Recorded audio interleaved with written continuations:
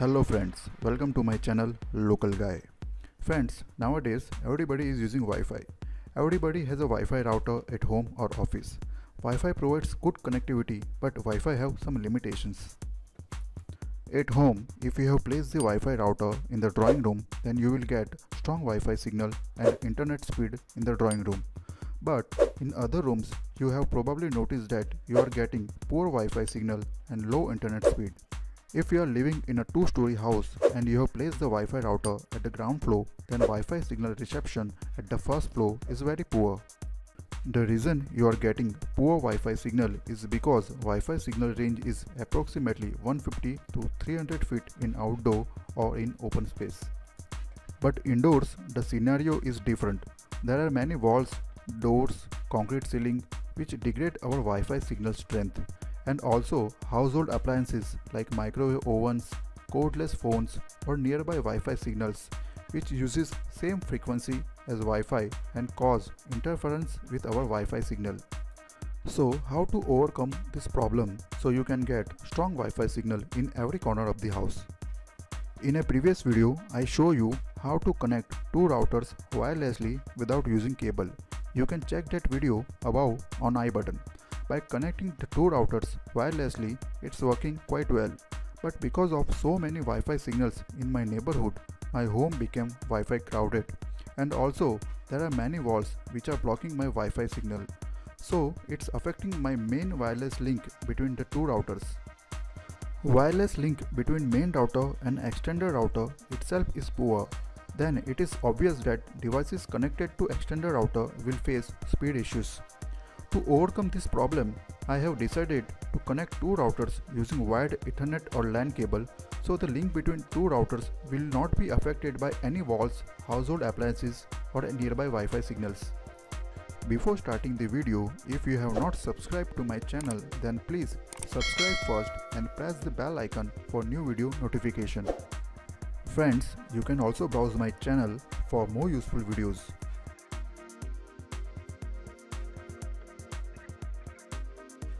So without wasting time, let's start the video. You can connect the two routers using two different modes. First router mode, second access point mode. Router mode is mainly used when you have DSL cable modem, which is provided by ISP. Sometimes ISP provides basic modem. It means it has only one LAN port and no wireless functionality in it. So here you can connect only one device to access the internet. You can't able to share internet with others.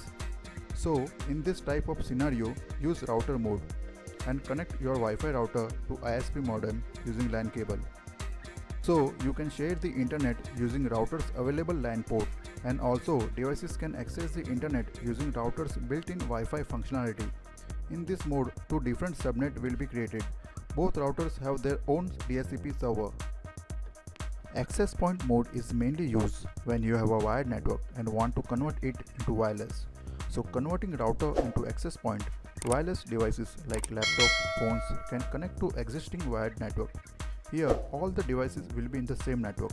In this mode, main router acts as a DHCP server which provides IP addresses to all the devices on the network.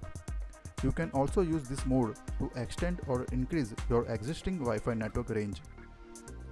So today I am going to convert my router as an access point then connect it to my main router so I can extend my existing Wi-Fi network range.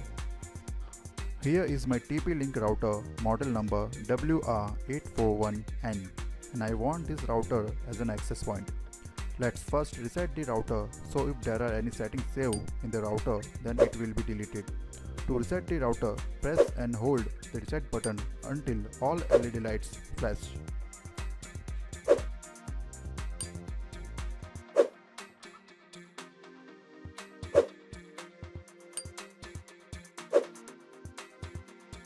First, we have to log in into the router. All the login information is given at the backside of the router.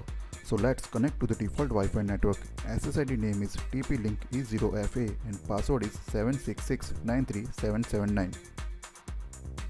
Now, to access the router, open the browser and type http tplinkwifi.net. Login with default username and password. Here it is admin, password is also admin. Now go to wireless and change the Wi-Fi network name. You can use the existing home Wi-Fi network name or can use any. Here I am changing it to SpaceX. Then click save. As we have changed the Wi-Fi network name, we are disconnected from the Wi-Fi network. Log in to the new Wi-Fi network name SpaceX and password is 766-93779. Here we have not changed the default password. Let's change it. For that, go to wireless, then under wireless security, change the password. I am changing it to time1234 and click save. As we have changed the password, we are again disconnected from the Wi-Fi network. So again log in with new password. Now go to the network and select LAN and change the default LAN IP address. Remember, extended router IP address must be in the same subnet of your main Wi-Fi network. So, log in into your home Wi-Fi router and go to DHCP server and under DHCP settings, note down the start and end IP address range. You have to apply IP address from this range only and that IP address must be unique and not used by any devices on the network.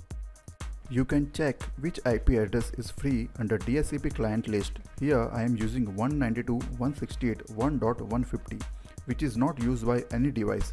So set the extended router LAN IP address to 192.168.1.150 and save the settings and reboot the router. Uh, friends, you can skip this step, but if you want to log in into this extended router, then you have to physically reach near the router then need to connect a LAN cable to the computer or laptop because here extended router default IP address is 192.168.0.1 and our network is 192.168.1.0 so it's better to change the IP address to same subnet so you can log into extended router wirelessly without physically reach near the router.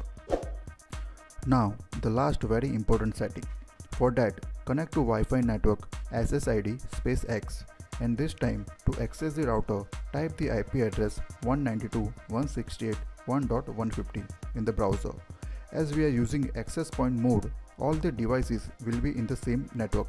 Our main router will act as a DHCP server. Two DHCP server on same subnet will not work. So we have to disable the DHCP server on extender router for that, go to DHCP server and under DHCP settings, disable the DHCP server and save the settings and reboot the router.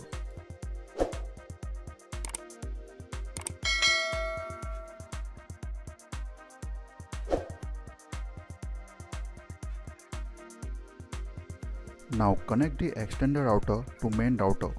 Here is my main router which is connected to the internet. I am using cable network so ISP cable is directly plugged into WAN port. My main router is up and running. Now take a LAN cable and plug one end to main router's LAN port and second end to extended router's LAN port.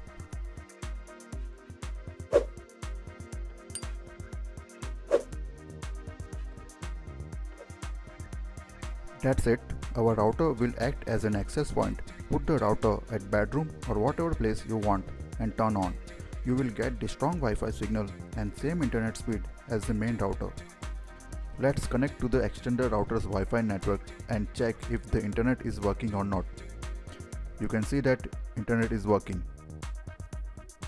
As I said earlier, we can access the extender router without physically reaching near the router. We can access the extender router wirelessly. Type address in the browser. Here it is 192.160.1.150. In future, if you want to change network name or password, you can change it wirelessly. You can see that main router which act as a DHCP server has provided IP address 192.168.1.110 which is in same subnet of the main router. Benefit of the main router and extended router is in the same network subnet is that we can access the files remotely here, one of my PC is wirelessly connected to the main router's Wi-Fi network and its IP address is 192.168.1.127. I can access that computer's file remotely from this computer which is connected to the extended router's Wi-Fi.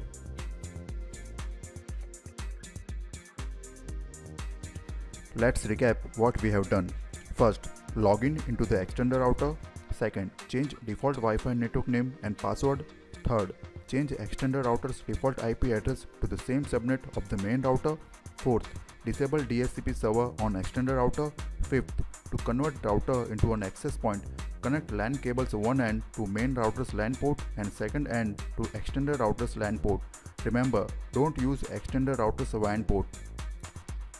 That's it for today. If you have any query about the settings, please ask in the comments. Thanks for watching the video. Please like, share and subscribe to the channel. Till then, goodbye.